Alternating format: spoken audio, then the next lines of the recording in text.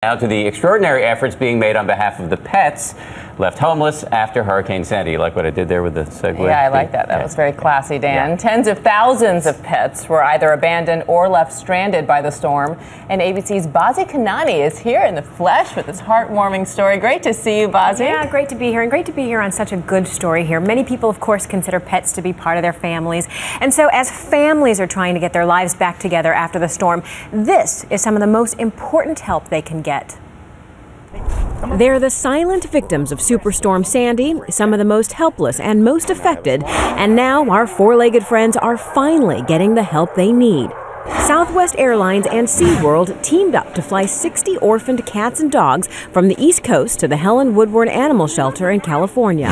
Thousands of animals lost their homes, and so we need to move the animals from these shelters to a shelter out on the West Coast so that we can make room for some of the Hurricane Sandy animals. The flight crew and the veterinarians are volunteering their time to assist in this operation. And they aren't the only ones helping. The ASPCA has opened a 20,000 square foot shelter for displaced pets in New York, made possible by the generosity of celebrity chef Rachael Ray.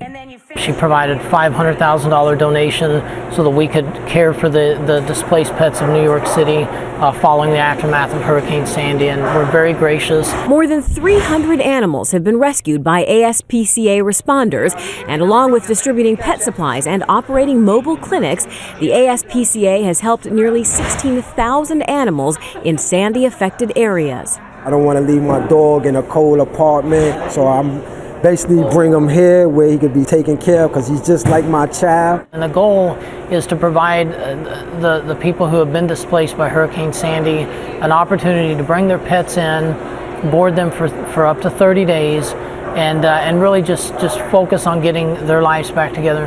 Proving in the aftermath of devastation, our furry friends are never forgotten. Rescuers say many pets not only need shelter, but they're also in need of some serious medical attention. Now, in the coming weeks, of course, we hope to see lots of happy reunions.